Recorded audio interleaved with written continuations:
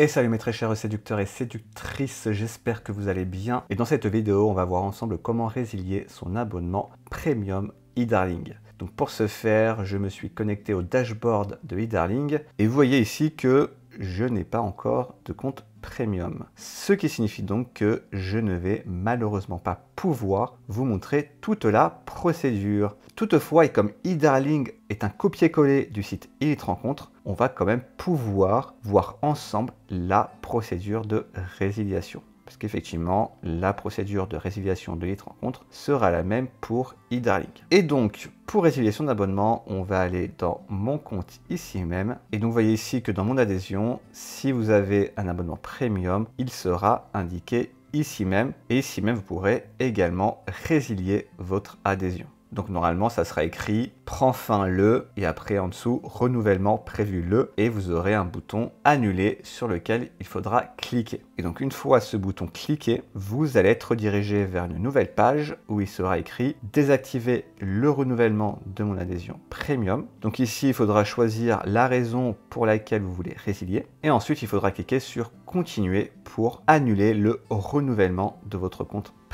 Par contre, on parle bien ici de la résiliation de son abonnement. Si vous voulez vous faire rembourser, ça va être comme Elite Rencontre. Il va falloir le faire sous 14 jours. Donc si vous envoyez un email au support de eDarling sous 14 jours via le formulaire ici même, voilà, eh bien vous pourrez vous faire rembourser. Par contre, si vous demandez le remboursement au-delà de 14 jours, votre abonnement ne pourra pas être remboursé. Vous avez d'un côté la procédure de résiliation qui vous fera annuler votre abonnement à la fin de la période d'adhésion et vous avez également du coup la procédure pour demander le remboursement. Donc c'est vraiment deux choses à part. Après, si vraiment vous n'y arrivez pas et que vous avez la flemme de cliquer sur résilier, etc., vous pouvez toujours envoyer une petite demande ici via le formulaire de contact. Donc vous entrez votre adresse email, vous entrez le sujet, par exemple résiliation de l'abonnement, vous écrivez simplement que vous souhaitez résilier votre abonnement, l'objet de la demande, vous cliquez sur résiliation et ensuite vous cliquez sur envoyer. Donc ça, c'est une autre manière de pouvoir résilier son abonnement eDarling. Donc voilà, pour résumer, soit vous passez par votre compte, soit vous passez